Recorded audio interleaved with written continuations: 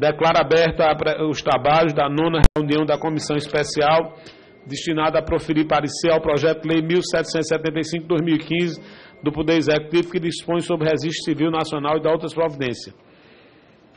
Convido a palestrante, a juíza Raquel dos Santos Cipriano, da primeira vara da família de São João do Miriti, para tomar assento à mesa, já agradecendo a presença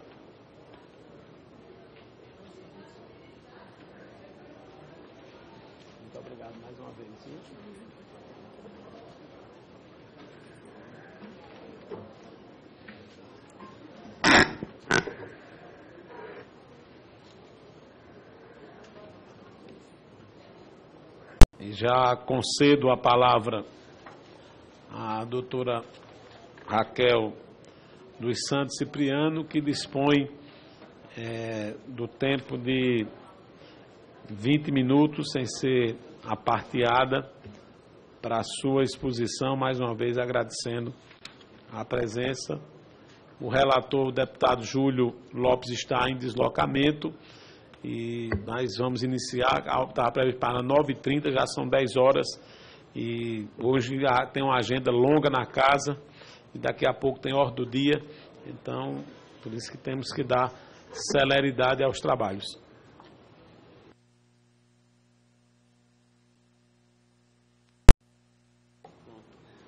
Bom dia a todos, agradeço o convite para estar aqui hoje, que muito me honra.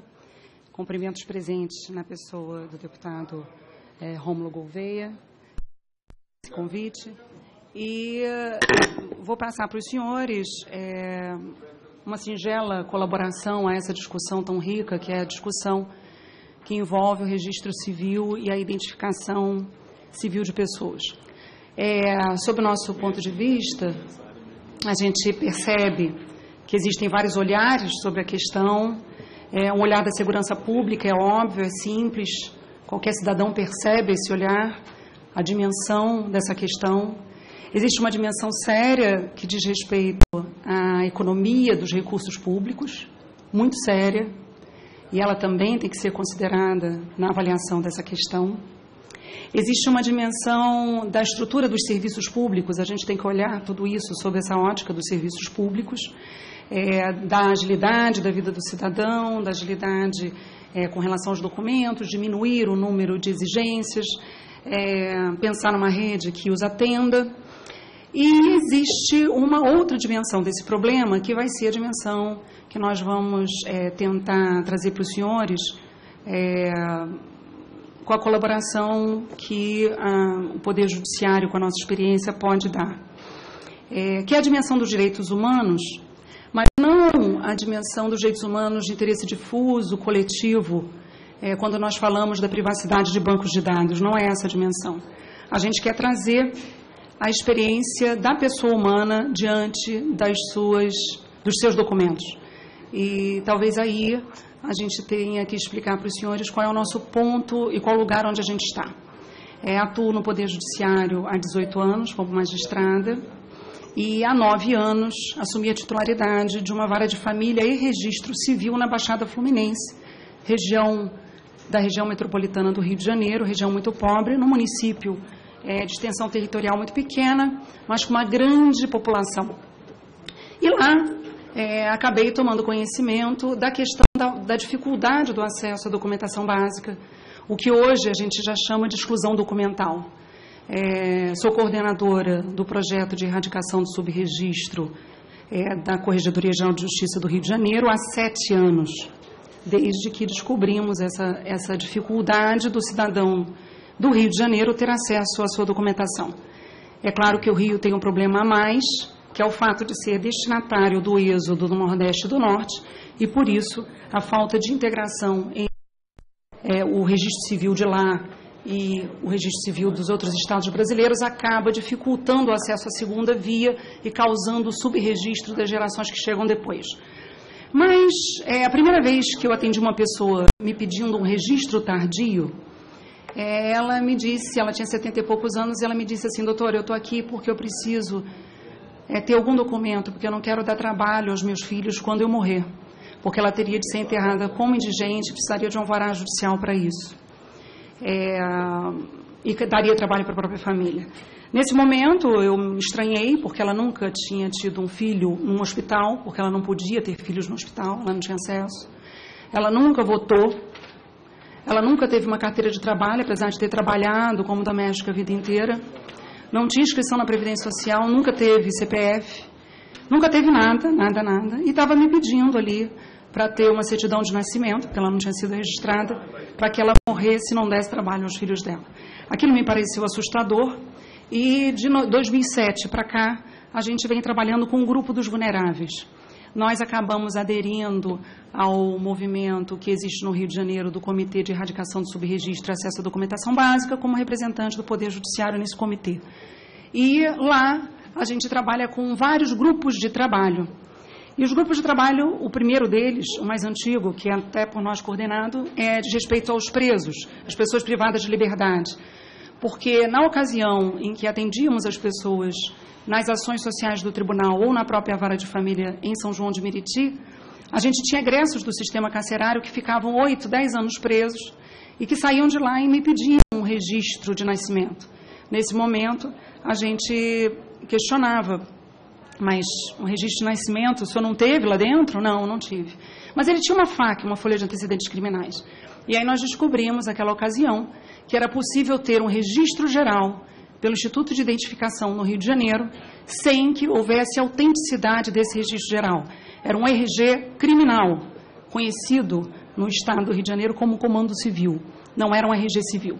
Então ele tinha, sim, a biometria dele colhida, atribuía-se essa biometria um registro geral interno no sistema EIFES de lá, e é, ele entrava e saía do sistema prisional sem documentação civil, o que impedia que ele reconhecesse o nascimento dos seus filhos, a paternidade, que ele tivesse carteira de trabalho, votasse, tudo mais quando saísse de lá.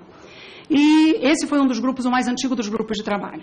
Além disso, a gente trabalha com grupo de população em situação de rua, a cidade do Rio de Janeiro hoje tem cerca de 6 mil pessoas nessa situação, todas com problema de exclusão documental.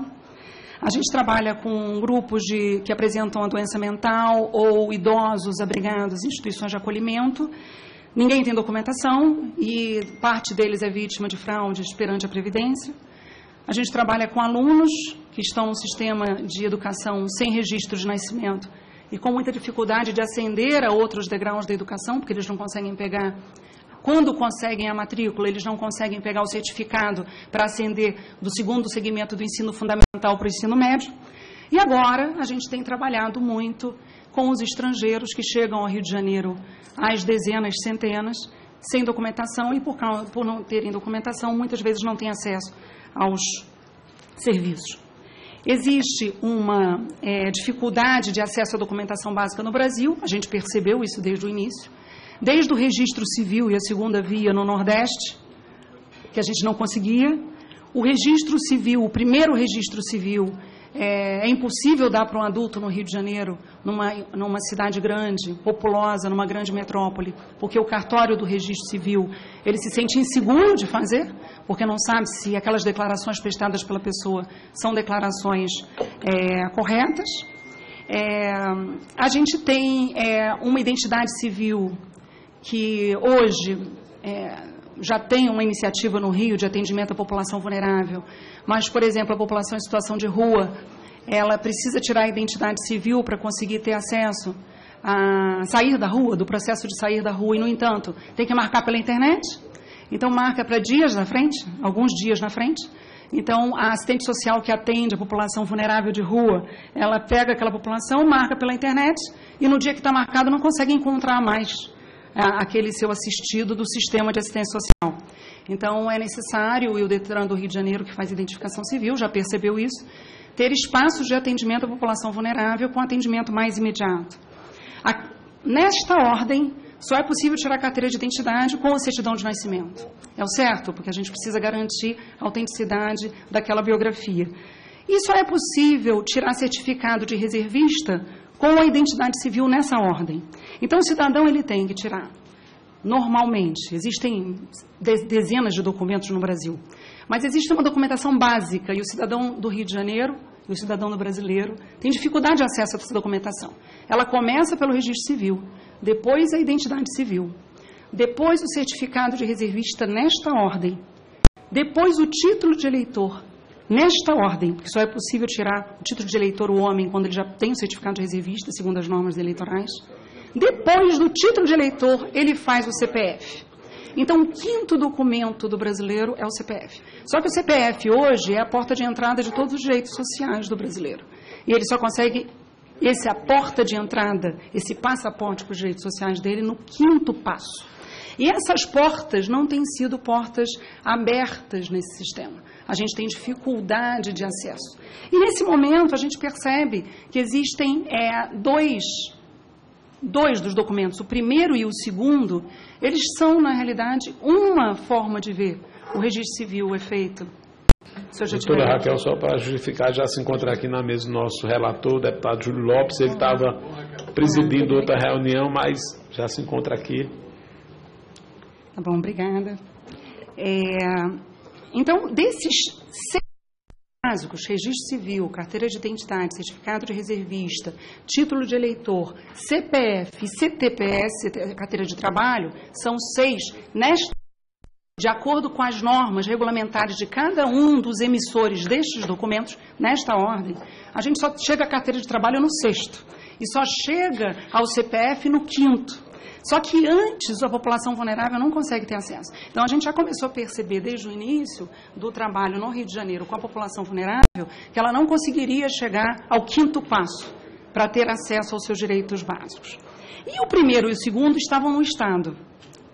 É, nós trabalhávamos lá com o nosso espaço de ingerência, que era o Estado. O registro civil cabia ao registrador civil do Estado, é, fiscalizado, com delegação feita pelo Poder Judiciário, e a identidade civil estava no Estado. Então, nesse momento, a gente percebeu que a gente deveria agir naqueles primeiro e segundo passo. Porque se a gente agilizasse, facilitasse o acesso da população ao primeiro e segundo passo, a gente facilitaria muito o acesso da população à documentação básica. E a gente também percebeu que o CPF, que era o documento mais importante para a pessoa hoje que precisa de acessos, não somos nós. Nós não somos a medida do brasileiro. Nós que estamos nessa sala não somos o brasileiro típico. Se a gente pegar o brasileiro típico e fazer uma média desse brasileiro, nós não representamos esse, esse brasileiro, nós estamos em outro status de esclarecimento, de acesso a direitos que eles não têm. A gente percebeu que o CPF tinha uma, um conflito interno à Receita. É, e esse conflito, me pareceu, foi confirmado aqui é, na fala do representante da Receita. Eu tive a oportunidade de ouvir pela internet, num trabalho tão bom que a Câmara faz, que nos disponibiliza o acesso a tudo. Ele disse que ele fica muito preocupado é, no zelo da atribuição do CPF. E a, porque a Receita Federal ela nasceu para ajudar o Brasil a fiscalizar e dar regularidade e segurança a todos esses aspectos. Na hora que ela se preocupa com o zelo na atribuição do CPF, ela acaba cerceando a entrada, naturalmente.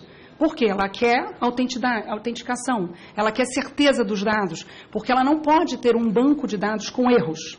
Na hora que ela faz isso, e ela é a condição para o acesso ao serviço de saúde, porque o cartão SUS é com CPF, o CAD único só se inscreve com CPF se hoje sem CPF para fazer o mapeamento do problema da exclusão documental no Brasil, mas não se atribui nenhum direito a essas pessoas inscritas no CAD único, porque elas não podem ter o CNIS sem o CPF. Então, na hora que se condiciona o CPF isso tudo, e ao mesmo tempo o CPF tem que garantir a lisura, a credibilidade, a autenticidade, a regularidade do seu banco, a gente tem um conflito entre a realidade do brasileiro típico e o sistema documental que garante esse é, sobre o registro civil, e aí nós vamos passar a, a nossa colaboração com esse grupo é, de debate sobre esse tema. O registro civil ele tem vi, sido visto, inclusive no Rio de Janeiro e nos lugares onde a gente tem ouvido falar de pessoas até vinculadas a direitos humanos, como um registro que se tira. É um papel que é necessário ter para ter acesso aos direitos. Esse papel é um papel que tem ali algumas informações. Só que esse olhar do registro civil como um passaporte para os direitos, que é o primeiro dos documentos do ser humano, é um olhar que me preocupa como a, é, uma das pessoas que lida com a exclusão documental hoje no sistema de garantia de direitos. Por quê? Porque os dados que constam do registro civil são dados de direitos humanos. Se nós pegarmos cada uma daquelas informações que constam no registro, nós veremos que cada uma delas está sendo protegida por convenções internacionais de direitos humanos, das quais o Brasil é signatário. O nome da pessoa, o nome nos distingue, ele ajuda a nos dar a identidade subjetiva. Lembramos que na história do Brasil só se dava nome às crianças quando elas tinham dois, três anos de idade, porque a mortalidade infantil era tão grande que não era bom dar nome, porque na hora que se dá nome se faz vínculo afetivo da família com a pessoa.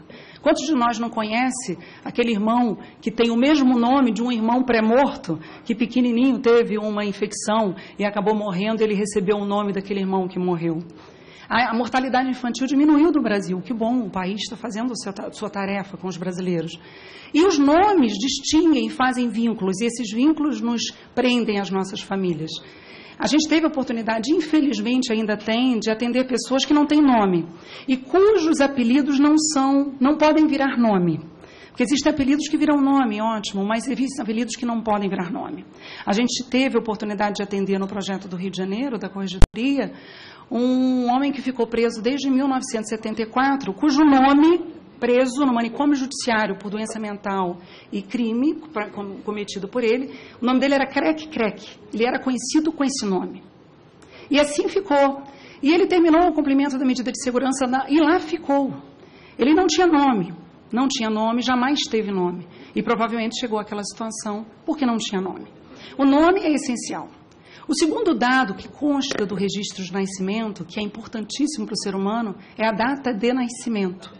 A data de nascimento ela está vinculada a direitos humanos internacionalmente conhecidos. Porque a data de nascimento vai nos dizer em que momento do nosso ciclo de vida a gente está. Se o Estado vai nos proteger ou se o Estado tem o dever de garantir a nossa liberdade. Se nós temos 5 anos de idade ou 10 anos de idade, estamos submetidos à, à exploração sexual, o Estado brasileiro, o Brasil, tem o dever de interferir e nos proteger. Se nós temos 19 anos naquela mesma situação, é, o Estado brasileiro tem o dever de interferir, mas se há uma atividade sexual normal, a pessoa tem o direito de ter uma vida sexual saudável e livre, tem a ver com a liberdade. Se é, nós trabalhamos como crianças, quando deveríamos estar na escola, o Estado tem o dever de interferir e coibir o trabalho infantil. Então, então, ainda uma vergonha brasileira, uma das dificuldades que nós temos no Brasil. Mas nós temos 16 anos e estamos, é, estamos ali como aprendizes, ou temos 19, nós temos o direito ao trabalho. Ter 17 ou ter 19 interfere na nossa vida, na interferência do Estado na nossa vida, na proteção do Estado na nossa vida. Ter 59, 58, ter 63 tem diferença. Ter 70 anos tem diferença. Então, o ciclo da vida se determina pela idade, esse dado tão importante que consta do registro de nascimento. E às vezes a gente não valoriza muito. Vamos colocar qualquer idade. A coleta desse dado é essencial, porque essa coleta vai fazer com que esses direitos sejam é, respeitados ao curso da, da vida da pessoa humana. E tem a ver com a proteção o terceiro dado que tem no registro de nascimento, que é, um, é tão importante para todos nós, é o local do nascimento. Quantos estrangeiros chegam no Brasil hoje e dariam tudo para terem nascido aqui, em solo brasileiro? Como é importante definir em que lugar se nasceu. Porque a partir do momento que se define o lugar que se nasceu, a gente atribui nacionalidade, que é um direito humano garantido em convenções internacionais.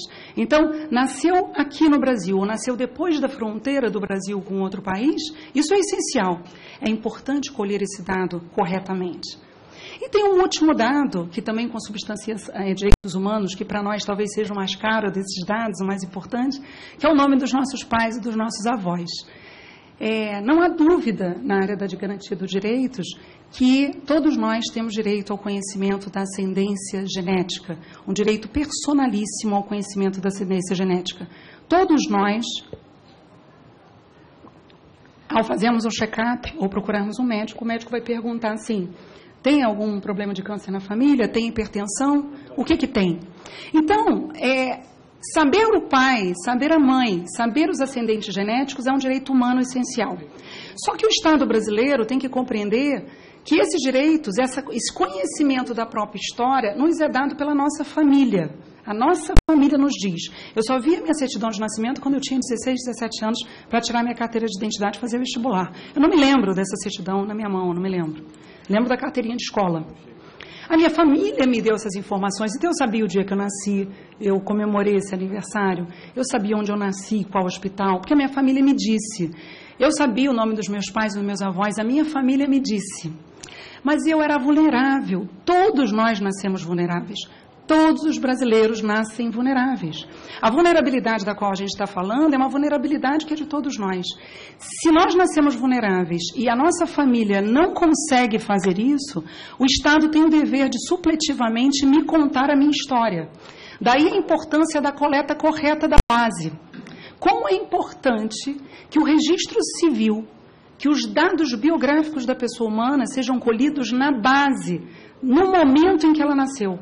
Porque a gente não sabe se essa família da pessoa humana vai conseguir dar a ela condições de saber onde estão essas informações. E ela pode crescer sem saber, porque ela pode, a mãe dela tem um problema psiquiátrico, o pai ser um alcoólatra, ela pode ser jogada dentro de uma lata do lixo, e ela não vai saber onde ela está, na vida, em que lugar ela está. Então, cabe ao Estado brasileiro à família colher esses dados com segurança. Me preocupa muito que essa dimensão não seja observada é, nas avaliações, porque é como se se desprezasse a coleta do dado na base. A coleta do dado na base é que vai garantir o direito dos brasileiros ao acesso ao nome correto, a data de nascimento, que tem a ver com a liberdade e a proteção do Estado, local de nascimento, que tem a ver com a nacionalidade, e a sua ascendência genética, que é importantíssimo para todos nós. E se é importantíssimo para todos nós, é importante para todas as pessoas e deve ser é, cuidado por todos nós. Então, o registro civil, ele às vezes é visto como um passaporte. Quando a gente entende que o registro civil ele é um direito humano em si mesmo. Registrar uma criança é garantir o direito humano da criança da coleta daqueles dados pelo Estado num banco que possa dar a ela condição de saber esses dados quando ela se tornar maior se não tiver família. Mas todos nós podemos sofrer acidentes. Até nós, juízes ou deputados, ou empresários, ou pessoas que podem se dizer garantidoras e que têm todos os direitos garantidos, um belo dia, numa bela calçada, a gente pode sofrer um atropelamento. Nesse momento, a gente pode ficar inconsciente, ser levado pelos transeuntes que, não, que desconhecem quem nós somos para um hospital. E nesse hospital, nós não seremos juízes, nem deputados, nem empresários, nem nós seremos uma pessoa humana precisando de cuidados médicos que não sabe dizer o próprio nome que está em estado de inconsciência. E em estado de inconsciência, o assistente social do hospital e o médico não vão localizar a nossa família. E a gente pode até sair depois da inconsciência, mas pode ser que a gente saia e não saiba mais quem a gente é. E aí alguém vai ter que dizer quem a gente é. Então a questão da vulnerabilidade, que é o olhar que a gente quer dar é, nessa contribuição, nessa humilde contribuição a essa casa, é, é um, um, olhar que tem que ser cuidado porque é da pessoa humana. Isso tem que ser cuidado na coleta dos dados e na, nos, na, na aos serviços dos vulneráveis. Nós podemos ser o vulnerável no hospital, qualquer um de nós. Nesse momento, a gente precisa dessa coleta correta, em que a gente não sabe quem a gente é. Alguém vai ter que dizer quem a gente é para garantir os nossos direitos. Então, se a vulnerabilidade ela é uma realidade da vida humana, nós nascemos vulneráveis e podemos ficar vulneráveis ao curso da nossa vida em momentos em que precisamos de ajuda por problemas de saúde, cirurgias, doenças, ou pela senectude, pela velhice. Nós todos vamos chegar lá a gente quer chegar lá, a gente quer ficar idoso. Quando nós ficarmos idosos, a gente vai esquecer as coisas. Nesse momento, alguém vai ter que nos dizer. Todos nós vivemos na vulnerabilidade. E assim, a gente tem que pensar no sistema de serviços. Porque quando a gente pensa na segurança pública, quando a gente pensa na economia do dinheiro público que um sistema único vai nos dar, quando a gente pensa nos serviços públicos, na agilidade, na desburocratização, a gente está vendo alguns aspectos do problema. O que a gente está querendo trazer e a vulnerabilidade humana e a vulnerabilidade social. Nesse momento, quando a gente percebe que o registro civil e esses dados biográficos que constam do registro civil têm que ser colhidos com segurança na base, a gente pensa se realmente não é necessário registrar o bebê na maternidade. É naquele momento em que o médico pode afirmar: foi daquela barriga que saiu aquela pessoa. E qual é essa pessoa que deu a luz? Qual é a pessoa que deu a luz? Às vezes a gente não sabe, deputado Júlio, sou do Rio de Janeiro. A gente tem um problema grave hoje lá. As mulheres em idade fértil que vivem nas ruas por causa do crack, que têm filhos nas maternidades, não têm documento, estão em situação de subregistro, muitas vezes não foram registradas pelas suas famílias, ou perderam e não têm acesso ao seu documento, porque os serviços de acesso, esses seis documentos básicos que eu falei, eles não pensam na vulnerabilidade, eles não se estruturam na vulnerabilidade, eles não se estruturam no acesso sob a ótica do cidadão, isso acaba criando problema para o sistema de garantias, para o sistema de segurança. Essa mulher chega no hospital, tem o seu bebê, na hora de se preencher ADN do bebê, o médico vai botar um nome declarado dela, e o juiz, às vezes, de infância, fica numa situação complicada para registrar essa criança com o nome correto e a gente não tem como Estado como garantir que o nome daquela mulher seja correto. A criança vai ser colocada em outra família, família substituta muitas vezes, porque essa mãe, em algumas situações, não é capaz de, de garantir os direitos dessa criança. E essa criança que teria direito ao conhecimento da sua ascendência genética, porque todo filho por adoção tem o direito de conhecer a sua ascendência genética, nós, Estado brasileiro, não garantimos esse direito. Então, nos parece que o registro civil, visto como um repositório de informações biográficas que consolidam direitos humanos do que o Brasil se comprometeu a defender, nos parece que essa base, a coleta, ela tem que ser vista com muita atenção. Porque na hora que a gente se preocupa com a segurança, com o gasto do dinheiro público, a gente se, se preocupa com o cadastro é, de forma, às vezes, rápida rápida para dar acesso e às vezes a gente perde a noção da importância de cada um dos dados dessa pessoa na vida da pessoa. É, sobre identidade civil, eu já estou caminhando para o final porque o nosso tempo já está se encerrando. Nós percebemos desde o início no projeto do Rio de Janeiro com as questões de segurança que a gente precisava colher digitais de todo aquele que chegava à nossa frente com mais de 12 anos, pelo menos, que dissesse que não tinha registro de nascimento. E existem muitas pessoas sem registro de nascimento, sem documentação. E todas as vezes que alguém chegava para nós, a gente colhia digital. Por quê? Porque a gente precisava saber se no banco de dados de identificação do Rio de Janeiro havia alguma identidade civil daquela pessoa. Nós estamos falando de um velhinho com Alzheimer no abrigo. O velhinho com Alzheimer no abrigo, com, através do Ministério Público, vem ao Judiciário pedir essa intervenção para garantir os direitos dele aos a, vida, né? Porque sem documentos ele não tem nada. Nesse momento a gente colhia a digital dele. E nesse momento a gente só tem acesso ao Banco do Rio de Janeiro. A instituição do Rio de Janeiro é um bom banco e ele nos dava a identidade de muitas dessas pessoas. Elas mesmas não sabiam quem eram e a gente acabava dizendo pela digital quem elas eram. Mas, é, nesse momento, a gente também é, é, entendeu que o registro civil deveria ser bem colhidas as informações elas deveriam ser integradas, então, porque não era possível a gente fazer um trabalho descolado da identidade. Isso nós aprendemos há oito anos atrás, quando a gente começou. Não dava, e olha que eu não entendia nada disso, jamais podia imaginar é, que isso estivesse acontecendo hoje, que a gente estivesse aqui discutindo um projeto não sabia, eu só sabia do direito da pessoa. Desde o início eu percebi, não adianta ter só um papel com os dados biográficos riquíssimos, dados sagrados, dados importantes, mas ele era um papel, um podia usar pelo outro. A gente, com direitos humanos, como humano, só tem a garantia de que aquela história nossa, o nosso nome, a nossa data de nascimento, os nossos pais, os nossos avós o nosso local de nascimento seja só nosso, só nosso, que ninguém mais use um nome que é só nosso, que aquele que aquela data de aniversário seja nossa, no momento em que aquele papel com aquela biografia tão importante se juntam às informações biométricas de fotografia. Nesse momento, não consegue ter garantia, que o Estado dá a ele a garantia de que aqueles dados biográficos são só dele. Ou então outra pessoa pode usar os dados dele. É um direito humano dele, a identidade civil. E naquele momento a gente percebeu o seguinte: muita gente achava que a identidade civil, a identidade era um, uma necessidade de segurança do Estado, de perseguição do Estado. Ah, eu vou tirar a carteira de identidade para alguém me prender. E naquele momento a gente percebeu, não, a identidade civil é um direito humano também. Então, da mesma forma que o registro civil é um direito humano por si mesmo e ele traz informações de direitos humanos, a identidade também, porque ela garante que aquelas informações biográficas da minha vida sejam usadas só por mim. Nesse momento, a gente percebeu e percebe até hoje, todos os dias, amanhã de manhã, às 9 horas, eu vou estar no ônibus de novo, atendendo na Justiça Itinerante especializada em subregistro. Várias pessoas vulneráveis sem documentação. Nesse momento, a gente precisa é, de uma articulação nacional para ter acesso aos bancos de dados de outros estados. A gente precisa. A gente não consegue garantir o direito do vulnerável.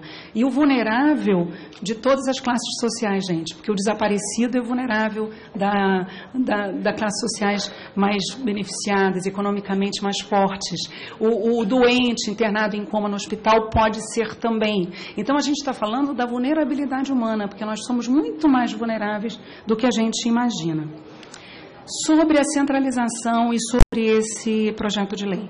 Eu não, não absolutamente não gostaria de, de, me, de me colocar de forma conclusiva sobre a pertinência, porque eu desconheço detalhes sobre isso. Eu trabalho com a vulnerabilidade e com os direitos humanos e me ressinto de o país não ter um sistema melhor. Peço aos senhores só que pensem que a coleta dos dados ela é muito importante para que ela seja verdadeira. Não adianta colocar dados arbitrados, tem que ser verdadeira. E que a identificação seja feita com o rito necessário, que a pessoa humana seja identificada com segurança, atribuindo a esses dados a biometria. Mas me preocupa muito, e eu tenho que passar para os senhores essa preocupação, de que o direito do voto, que é um direito sagrado importantíssimo para o brasileiro, é, é, acabe vinculado a um outro direito, que é o da identificação civil. A identificação civil e o registro civil são direitos que são diferentes, são distintos. Pode ser que o país opte para que o mesmo órgão proteja os dois. Mas o, juiz, o país tem que saber que ele está protegendo dois direitos. O direito a registro civil e a identidade civil, que seria quase uma coisa só, se a gente olhar que é, são duas partes do mesmo problema, e o direito ao voto.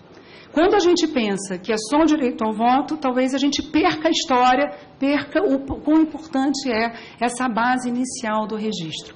É, me preocupa é, que esse olhar não fique claro porque é, existem países em que o sistema registral de registro civil é mantido pelos sistemas eleitorais. E nesse momento, a pessoa humana só é registrada nas vésperas de se alistar e de ter a, ou votar, de ter idade para o voto. Isso é um fato de outros países. Ela só registra a pessoa humana na hora de votar. Essa preocupação, quando se vê só o direito ao voto sem ver o direito humano ao registro, com todos os direitos humanos inerentes, é importante para nós, porque se não se vir os dois separadamente, para manter os dois íntegros, mesmo que seja no órgão eleitoral, a nós nos parece que a gente vai incidir nos erros de outros países que registram a pessoa humana às vésperas de votar. Nesse momento, ela já perdeu as informações corretas da sua data de nascimento. Isso tem a ver com os direitos humanos dela. Isso, ela já perdeu o local de nascimento, porque ela não sabe mais, ela era vulnerável, ela não lembra onde ela nasceu. Ela perdeu o direito humano personalíssimo ao conhecimento da sua ascendência genética, porque a preocupação foi só com aquele aspecto.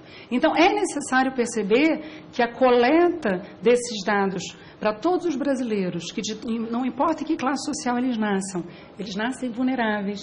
Nesse momento, o Estado, supletivamente, a, a família deve cuidar desses dados, com muito cuidado. E essa coleta tem que ser feita com muito cuidado. Então, eu queria passar para os senhores essa nossa percepção, que não é a percepção da segurança pública, da segurança de bancos, não é a percepção é, dos serviços públicos, não é a percepção da economia do dinheiro público. Todas essas dimensões do problema são muito graves, mas a percepção dos direitos humanos envolvidos na pessoa humana vulnerável, e no Brasil há milhões de vulneráveis milhões de vulneráveis, completamente invisíveis, completamente excluídos. E a gente está falando desses grupos que acabam é, sendo um problema para a mas na realidade devem ser cuidados pelo país como vulneráveis que são e todos nós podemos estar entre eles porque nenhum de nós está ileso desse risco que é o risco da vida de passar por uma situação de vulnerabilidade. Então eu queria agradecer a atenção, é, dizer que essa foi a forma de nós contribuirmos é, depois de ouvirmos várias outras dimensões colocadas aqui e dizer que estamos à disposição é, dessa casa para eventual discussão, dúvidas, etc. Com a palavra, o, agradecendo a exposição da doutora Raquel Santos Cipriano, com a palavra o relator, deputado Júlio Lopes. Obrigado, presidente, deputado Rômulo Gouveia, agradecer a presença de todos, especialmente da doutora Raquel Cipriano, e dizer que é uma emoção ouvi-la. Eu, eu sou filho de uma professora e ela sempre me chamou muita atenção desses dados que a senhora está colocando. Ela tinha uma admiração muito grande por um educador chamado Rogers, Carl Rogers. E ele sempre dizia que mais importante do que qualquer aprendizado, do que qualquer aula, era a experiência do próprio aluno vivendo suas possibilidades e capacidades e o autoconhecimento. E que o autoconhecimento precedia essas informações preliminares e familiares. Então, quero subscrever integralmente o que a senhora coloca e dizer que nós vamos trabalhar com toda a dedicação que nós possamos construir algo à semelhança do que a senhora coloca com tão justa preocupação. Ontem nós estivemos com o ministro Gilmar Mendes no Tribunal Superior Eleitoral é, para exatamente debatermos com ele essa questão tão relevante. E aí, ele ouvindo falar também sobre o CPF, nós já vemos desde o início do nosso trabalho, por uma questão de simplicidade, por uma questão de, de acolhimento também daquilo que o brasileiro já julga ser é, mais fácil para a lida do seu registro. E ao sermos recepcionados ontem lá no tribunal, viu, Camarão? Isso é, o rapaz pediu a mim e ao Fábio Camarota, o senhor não precisa só o CPF, o senhor está autorizado a entrar. Exatamente lógica a gente pediu essa consulta à Receita Federal que a senhora ouviu. E temos hoje uma convicção forte de que o que a gente precisa é dar a cada brasileiro a oportunidade de usar aquele número que ele já conhece, que ele já lida no dia a dia, associado a uma certificação de registro que aí sim tem que ser muito mais ampla, cercada da biometria, cercada da biografia, de todos os dados, enfim, amarrados do ponto de vista da fotografia, com padrão AIFA, ICAO, etc para que a gente possa ter um processo de certificação no Brasil. Mas que a base deve, obviamente, chegar a todas as maternidades, a todos os rincões mais distantes do Brasil, tem que ser dentro dessa estrutura registral que a gente já tem, que tem feito um esforço enorme para se capacitar. É, substituir também essa rede não seria eficiente. Que a gente tenha que capacitá-la, dar a ela um empowerment, no sentido de que ela possa ter melhores meios e melhores capacidades de abranger com mais efetividade cada rincão mais distante do Brasil. Mas nós teremos enorme preocupação de acolher eh, todos esses vulneráveis às quais a senhora se referiu e de fazer esse processo com a maior humanidade possível, construindo com a, o Tribunal Superior Eleitoral, que tão bem se equipou, construiu e tecnologicamente se firmou, um processo de certificação que lhe permita, eh, lá na sua ação, no seu juizado, não acessar tão somente os dados biométricos ou cadastrais de cada um que tenha Alzheimer ou que tenha qualquer outra necessidade de assistência, sob uma base regional, mas sim sob uma base nacional, agora então acessada e controlada e gerida pelo Tribunal Superior Eleitoral. Basicamente é isso, né, presidente, que nós vamos tentar construir, dependendo, obviamente. Agora, eu só quero dar mais um testemunho, que é a riqueza dessa né, o presidente, porque cada um traz o seu enfoque, e certamente as pessoas que estão aqui presentes, a sua vivência, a sua experiência com vulneráveis, isso que a senhora relata com tanta emoção, obviamente são importantes fases da construção desse projeto. É, fica à vontade para comentar a participação do Sim, nosso. Eu, eu queria só dizer que é necessária uma base nacional a gente está com muita esperança e feliz com a criação e a implementação do SIRC, do Sistema Integrado de Registro Civil, porque será a base biográfica nacional com uma coleta feita nos estados. Isso vai nos permitir a localização de segundas vias de registro civil em todo o Brasil. Melhora muito a situação da população vulnerável do Rio de Janeiro e eu acredito que outros membros de, do sistema de garantia de direito em outros estados vão ter, vão ter a vida muito facilitada quando todos os estados brasileiros integrarem o CIRC. E quero dizer que olho com esperança o trabalho dos senhores é essencial, é necessário e espero que é, a gente possa contribuir com o TSE, que é um, um, órgão do sistema do Poder Judiciário, com esse olhar é, nos dois lados, do direito ao voto e do direito a uma identidade civil verdadeira, correta, com dados corretos, que isso tudo seja é, importado para o sistema, inclusive com relação ao acesso a esses serviços. Porque a nossa preocupação realmente é que não se deixe para registrar a pessoa humana na iminência dela votar, como acontece na fala que a gente ouve de movimentos e de órgãos e organismos internacionais de direitos humanos que trabalham em outros países que fizeram essa opção. Eu não acho que a gente, porque vai fazer essa opção, necessariamente para passar pelo mesmo inconveniente. Mas é, é preciso lembrar que a gente tem que pensar numa rede de serviços acessíveis e esses serviços têm que ser tão acessíveis que até o mais vulnerável dos brasileiros consiga chegar a ele. Hoje, esse sistema, com esses seis documentos, com esse sistema hermético fechado, não consegue fazer isso. Quanto ao CPF, só queria ratificar, já que o senhor referiu, deputado Júlio Lopes, é a questão da, da, da dicotomia que eu percebo dentro deles. Ao mesmo tempo que eles têm um dever, que foi o dever da criação deles, de uma base segura, ele hoje é a porta de entrada para o direito social. Então, a gente precisa que a população em situação de rua tenha CPF, precisa que as pessoas vulneráveis tenham CPF. E, ao mesmo tempo, há uma dificuldade de concessão do CPF para eles, com a imposição de várias condições, inclusive comprovação de residência, é, coisas que é impossível dar para esse grupo. Na hora que acontece essa junção numa mesma instituição de duas funções que são incompatíveis, quem perde é aquele que não tem a voz, quem é o excluído, porque ele não consegue dizer, eu nunca vou conseguir tirar o CPF. Nunca tirando o CPF, nunca entrará no CAD único, nunca terá o SUS, não terá um parto acompanhado, não terá é, uma assistência, um médico, um remédio de tarja preta não é distribuído pelo SUS quem não tem CPF. Então a pessoa, o doente mental, ele internado fica em surto e não consegue sair do surto porque ele não terá documento e a assistência social não consegue dar o documento para ele porque é, existem condições que ele jamais conseguirá atender. Então, essa, essa questão, qual é a vocação de cada uma das instituições, é, é que me parece, eu queria só trazer esse olhar do, do ser humano, da pessoa vulnerável, da pessoa que precisa do atendimento. Como é que a gente faz isso tudo? Ser um sistema harmônico para dar acesso ao brasileiro, é isso? Doutora, é, presidente, só para esclarecer aqui mais um aspecto, quer dizer, uma das funções que eu acho é, imediatas e, e, que são foco da nossa ação aqui, é também a função de segurança do dado, da segurança da apuração e, mais importante, ou tão importante quanto isso tudo, é que nós façamos a rede de proteção social do Brasil, né, doutor Mário, chegar às devidas pessoas.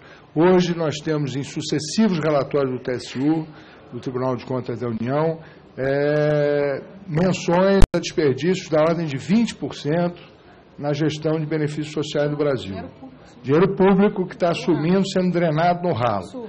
Então, em toda a nossa relatoria aqui, e nós vamos fazer o mais rapidamente possível, com esse enfoque, inclusive na questão do CPF, por sugestão do Tribunal de Contas da União, nós vamos não só trabalhar para que desde a menor infância, desde o bebê, o cidadão seja acompanhado, exatamente porque estão aí as fases mais importantes de controle, sejam na pequena infância, sejam na idade avançada. Então, são esses dois focos de ação que nós vamos ter para cruzamento, gestão e acompanhamento de controles que são tão necessários com o CPF e aí sim correlacionados aos dados biométricos, biográficos, etc., que o Tribunal Superior Eleitoral deverá recolher e trabalhar.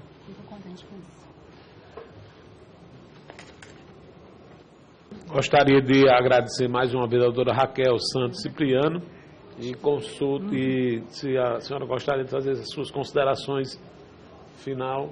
Não, não, eu agradeço o convite e É, pediria só para consertar, é Crispino. É o nome Crispino. mais difícil mesmo, as pessoas às vezes confundem, mas é Crispino, é Raquel Santos Pereira Crispino. Está registrado. Então, mais uma vez, o agradecimento desse deslocado do Rio de Janeiro. Sei da tarefa, da agenda, do número de processos. Eu tenho muito. Muito, mas mesmo assim teve a sensibilidade e foi muito importante e uma contribuição muito importante à sua exposição nessa manhã de hoje. Tínhamos também o ex-senador Pedro Simão, mas ele justificou, pediu para remarcar o problema de saúde e, e até a gente entende assim, as dificuldades do senador Simão, mas está à disposição, ele já está numa na melhor idade, né? E para alguns melhor, para outros não, né? Enfim, mas é, nós estamos na expectativa pela experiência e pela luta que o senador Simão travou nesta casa, no Congresso, em relação a essa matéria.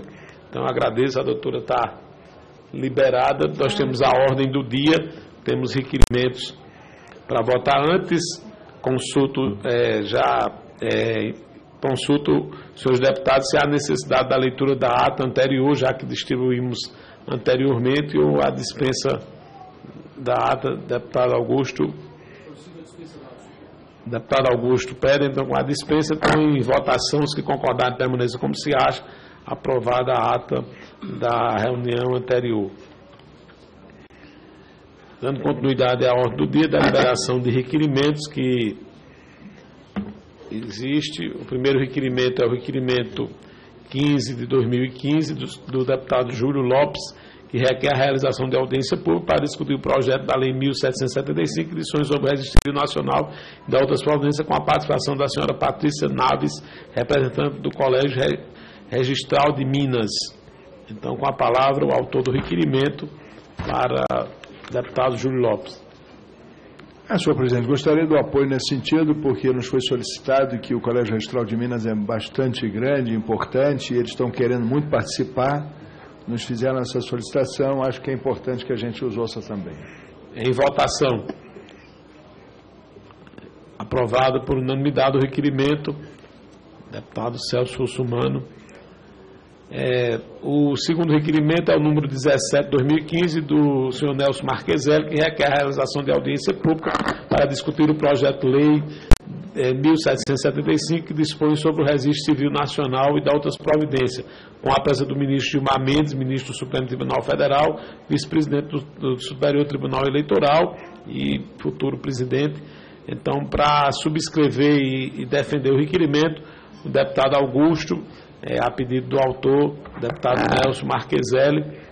E antes do, de, discutir o requerimento, queria consultar o deputado Júlio Lopes com a aprovação desse requerimento, se essa, se a, a participação da senhora Patrícia Naves vai ser na audiência pública de, de Minas, que temos no dia 14, ou aqui na comissão. Porque se desse para conciliar, seria interessante para ela e até. Ela, eu gostaria que fosse aqui, presidente, ah, mas ah, tá. não, a não, gente pode juntar a audiência não, dela com a critério, outra. A critério, com a palavra, o deputado Augusto, é, para, é, como subscritor do requerimento do deputado Nelson Marqueselli. Senhor presidente, ah, por solicitação do deputado Marqueselli, eu subscrevo esse requerimento e pelas razões óbvias. O ministro Gilmar nosso direito constitucional, a questão do Tribunal Superior Eleitoral, onde é vice-presidente, e tem certamente grande contribuição a dar ao relatório do nosso, nosso deputado Júlio Lopes. Portanto, eu acho sumamente importante que nós tenhamos as luzes do nosso ministro do Supremo Tribunal, Gilmar Mendes.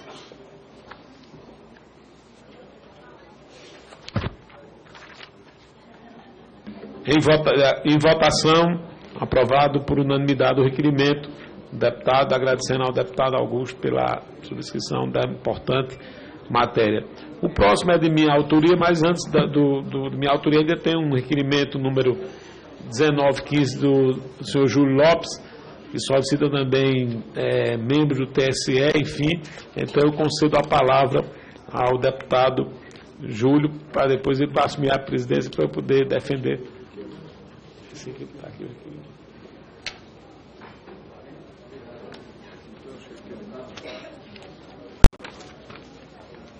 Tribunal de Contas.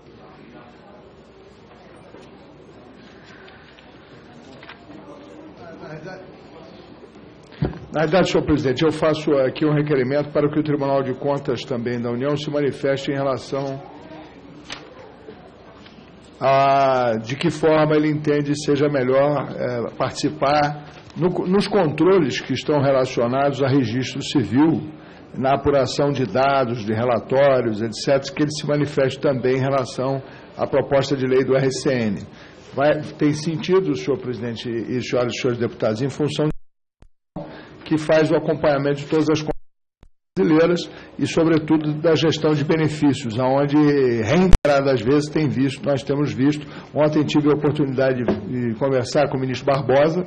O próprio ministro Barbosa é, reconhece que precisa de um, de um trabalho de maior profundidade na gestão dos benefícios no Brasil, que hoje montam a, extra, a extra, estratosférica soma de 110 bilhões por ano, 68 bilhões, deputado Russumano, só no Ministério da Ação Social. Se nós somarmos todas as outras ações em defesa social, nós chegamos à soma de 110 bilhões, que é maior do que o que se gasta com educação e do que se gasta com saúde. Quer dizer, não somados, mas separadamente. Então é importante que o tribunal dê uma manifestação de como ele vê o melhor processo para que nós façamos esses acompanhamentos. É nesse sentido, senhor presidente. Em votação aprovado por requerimento de ao deputado Sóstenes, prestigiar ele aqui, para é, defender o requerimento de minha autoria.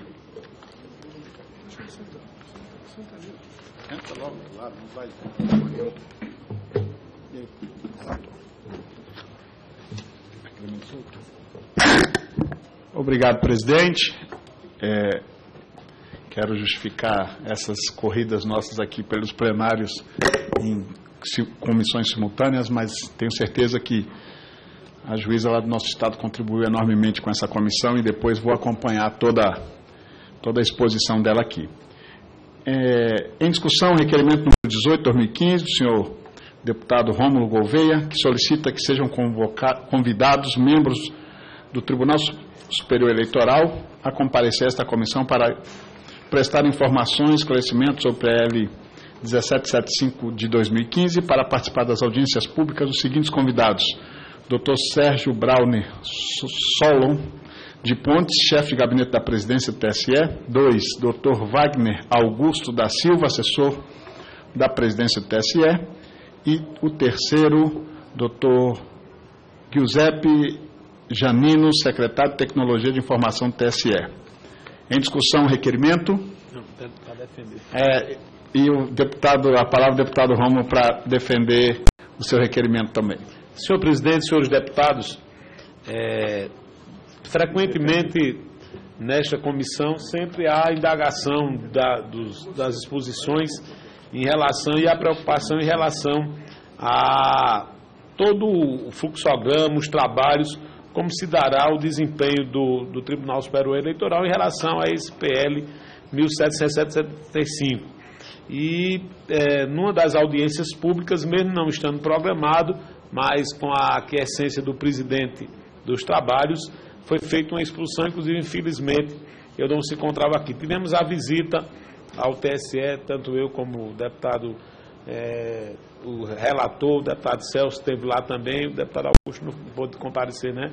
Nem o deputado Sócio também não, Na próxima, não compareceu, mas foi muito importante. Então, nesse sentido, eu gostaria de, é, numa das audiências públicas, com maior detalhamento, com maior exposição do, do TSE, dos convidados, acrescentando inclusive o doutor Paulo César Camarão, e ambos têm acompanhado também o trabalho, inclusive eu acredito que diante do, do diagnóstico eles poderão esclarecer, porque eu tenho certeza que eles ficam é, querendo, obviamente não está programado, tirar alguma dúvida. Então acho que seria importante com a presença, inclusive, de todos os deputados e também, obviamente, do, dos segmentos da, das, da Noreg, enfim, que sempre tem questionado a última audiência, então será muito importante para qualquer, para que não dúvida a essa é, audiência pública do requerimento que peço a aprovação dos senhores deputados e deputadas desta casa, de, desta comissão.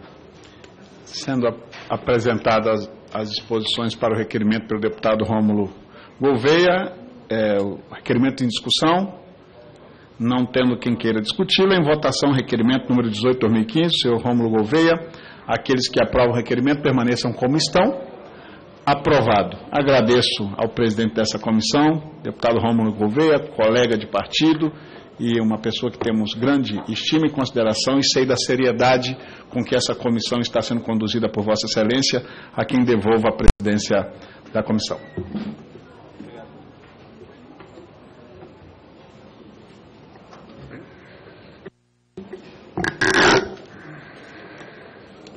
Não tendo mais requerimentos, Senhor presidente, deputado Celso Russumano. muito obrigado.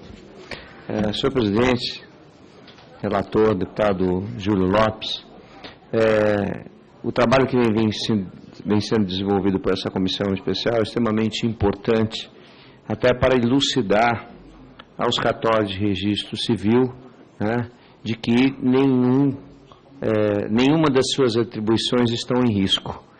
E isso tem chamado a atenção de uma quantidade enorme de registradores, é, achando que, por causa, inclusive, do nome que foi dado ao Registro Civil Nacional, é, eles estariam em risco com relação às suas atribuições.